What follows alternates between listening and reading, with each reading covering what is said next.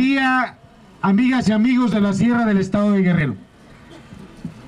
Quiero pedirle, gobernador, que usted sea el conducto, porque en nombre de la Sierra queremos pedir una disculpa si con la acción que se llevó a cabo el día viernes por las 27 poblaciones se le vivió un momento complicado a las Fuerzas Armadas de nuestro país, a los elementos de la Policía Estatal.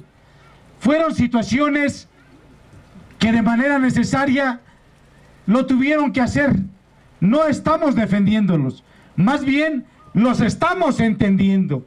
Las complicaciones teníamos nosotros encima, la lluvia, como en este momento, la teníamos presente en esta región de la Sierra del Estado de Guerrero. La, la, la siembra creciendo.